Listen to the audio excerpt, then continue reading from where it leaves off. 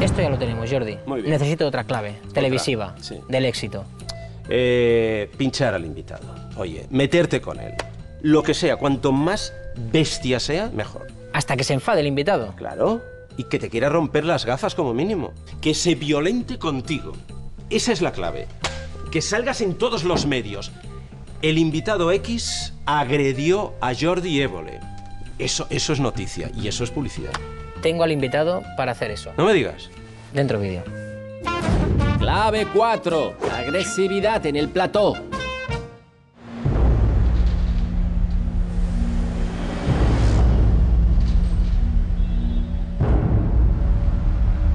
Nuestra víctima será alguien que esté en promoción y después de buscar y buscar hemos encontrado a... Pedro Ruiz. Humorista, actor y presentador de radio y televisión con mucho, mucho carácter. Pedro está convencido de que vamos a hablar de su obra de teatro, pero el objetivo real es procurar que se altere con alguna pregunta y conseguir un momento televisivo de alta tensión. Pero Pedro es un comunicador curtido y no será fácil sacarlo de sus casillas. Estás en el teatro ahora. Sí. Escándalo en Palacio. Una obra que muchos han interpretado como una parodia de la relación entre Sarkozy y Carla Bruni. ¿Te has atrevido con Sarkozy porque de zapatero no puedes hacer? Porque no eres... Por, por bajito, Claro, sí. sí. No, hombre. broma, ¿no? No, bueno, no te, yo no, no te voy a tomar esto ni en serio. Yo es que salía con chicas guapas mucho antes que Sarkozy. Y, y fíjate los zapatos que llevo. Fíjate los zapatos que llevo. Mira. ¿Ves ¿Llevas tú? un poco de taconcito? Nada, ni uno. Nada. ¿Se puede llevar menos tacón que este? Es más, a las actrices que trabajan conmigo yo les digo, ponte tacones muy altos. A mí me gusta verte con perspectiva. Quiero que me cuentes lo que pasa arriba, no pasa nada. Pero tú cuando te veías en las fotos con Inma del Moral, por ejemplo, y os veíais aquella diferencia, ¿tú pensabas, hacemos buena pareja? Yo nunca veo las fotos mías en las revistas ni me veo en la tele. Me las cuentan. Se te ve poco por televisión, Pedro. Pues no es por mi gusto, será porque estoy antiguo, no tengo palabras, no sé, no sé qué decir o no sé a quién acudir. Ya saldré. ¿Sí? Bueno, no lo sé, quién sabe. Cuando tú, cuando tú mandes, a lo mejor sí. Siempre te ha gustado mucho arrimarte al poder. Tú has estado, por ejemplo, en el despacho de Felipe González, en la Moncloa. Ujú. ¿Qué tal? Amable, eh, hora y media de charla, y estaba él con un puro, y sonó un teléfono, y dije, esto es extraño porque este teléfono, esto interior no es. Y zarzuela tampoco, pero ¿cómo puede estar sonando esto? Esto, esto es una cosa... Espera un momento. Entonces se fue al fondo del despacho, se Ah, agachó... Lo estabas imitando ahora. No, bueno, pre- pretendía que se recordara. Se fue al fondo del despacho, se agachó, sacó un teléfono de un armarito y de rodillas en el suelo, con el puro en la mano y sacando un teléfono de centralita, dijo exactamente, sí, dígame, sí, bueno, esto es Moncloa, pero, pero esto no es protocolo, ha saltado la llamada, vuelve usted a llamar. Y entonces yo pensé, joder, como todo funciona igual. Pero ese día estuvo muy amable. Y con Aznar, incluso has visto fútbol en la Moncloa. Sí, un partido de la final de la Copa de Europa, donde eh, cuando Zidane marcó, marcó aquel golazo. Hombre, y Aznar es de los que se levanta cuando marca un gol el Madrid lo celebra ahí como... Pues por lo que yo le vi ese día, no. Él es un hombre muy, muy moderado, muy, muy callado. Y ni se levantó, ni gritó gol. Él, él iba haciendo comentarios así como para sí mismo, por lo bajini, ¿Y qué piensas de Aznar? que no está contento consigo mismo. Es una opinión. ¿Qué quiere decir eso? Pues que seguramente, es una opinión, que seguramente él no se disculpa a él mismo determinadas actitudes. Pero es una opinión mía, ¿Por el 11M te refieres? Quizá por alguna cosa más. Y eres muy amigo también, por ejemplo, de un juez tan famoso como Baltasar Garzón. ¿Es verdad que os habéis corrido alguna juerga juntos?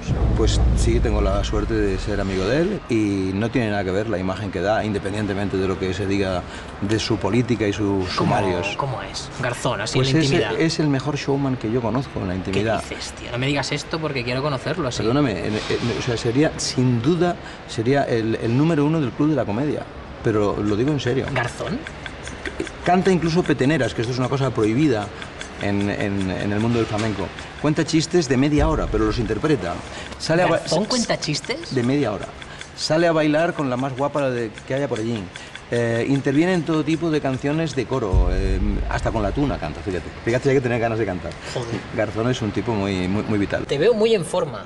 Para tu edad te veo muy en forma. ¿Y es verdad que te sigues tirando del trampolín de tu piscina? Todos los días. ¿Sí? Todos los días, aunque esté nevado, y aunque la piscina esté helada, rompiendo el hielo previamente. Uno de los días que me tiré, soy yo el chof, ¿eh? y detrás, en un seto, oí una voz de uno que le decía al otro, ¿te lo crees ahora o no?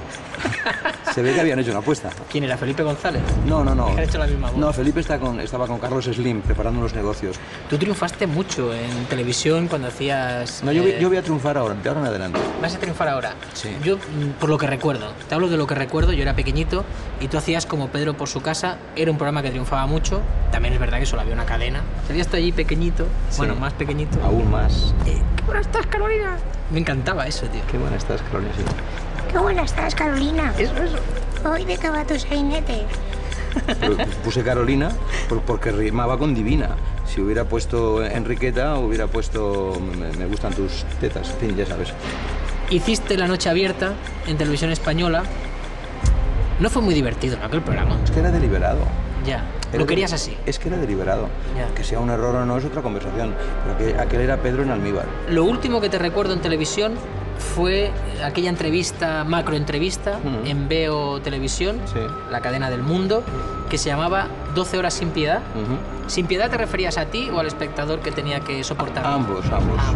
Espectadores y comunicadores o artistas son vasos comunicantes. Atención, ha llegado el momento culminante. El follonero está a punto de tocar un tema que puede alterar los nervios de Pedro Ruiz. Sé que eres un hombre de, de- de rutinas, que te gusta pues seguir unas dinámicas y por ejemplo sé que en tu camerino antes de cada función una de las cosas que nos faltan son pues tus dos o tres rayitas de cocaína. Es- ¿Me estás preguntando en serio esto? bueno, a mí me lo han dicho. ¿Y, y tú tienes valor de preguntarme una cosa así sin, sin comprobarlo? O sea, tú pasas por ser un tipo íntegro y, y me preguntas eso que solamente lo has oído. Pero si no te ha gustado lo No, editamos y no, ya no, está. no, no, no me jodas. No, no, ahora esto ya es fuera de la edición.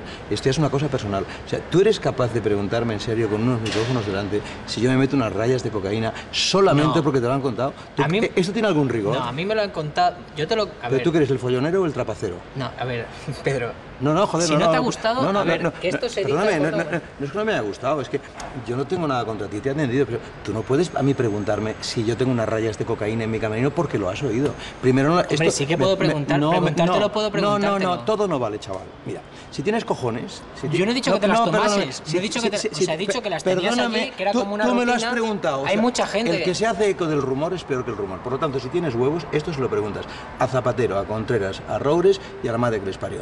Esto se ha acabado. Adiós, Pero esto chaval. se puede Adiós, evitar. chaval. Pedro, Adiós. Pedro, Pedro. Adiós, vale. Pedro. Vale, vale.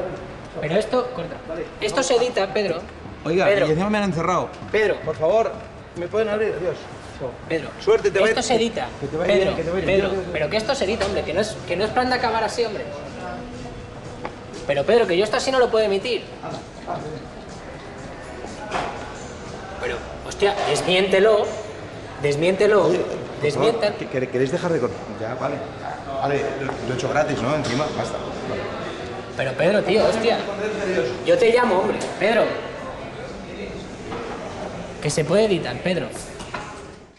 Una pregunta incómoda. Rayitas de cocaína. Un entrevistado víctima de una encerrona. No, no, no, todo no vale. Indignación, Perdóname, tensión, Hay mucha gente. rabia o puro teatro. Pedro. ¿Verdad o mentira? El final de la entrevista a Pedro Ruiz en unos instantes. Que se puede editar, Pedro. Puta madre.